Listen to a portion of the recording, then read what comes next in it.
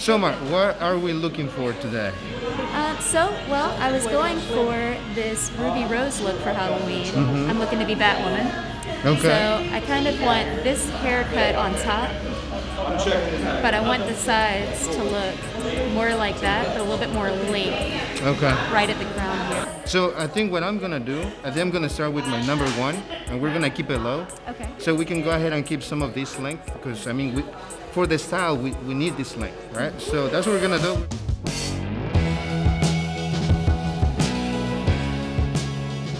I was actually looking to do the uh, Ruby Rose Batwoman aesthetic for Halloween, so I'm coming to get a fresh fade.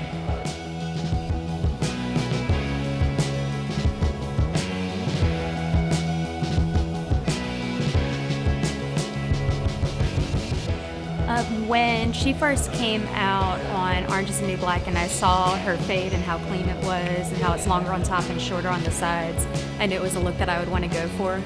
Um, so that's what made me choose that cut.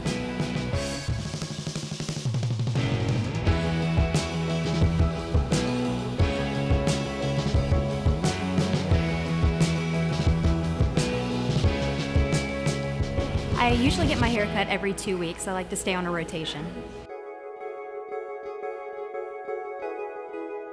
I've actually been going to Sam for a few years now, and he's the only gentleman that I would trust with my hair. So when he moved to Mr. Pompadour, I had to come and be with him.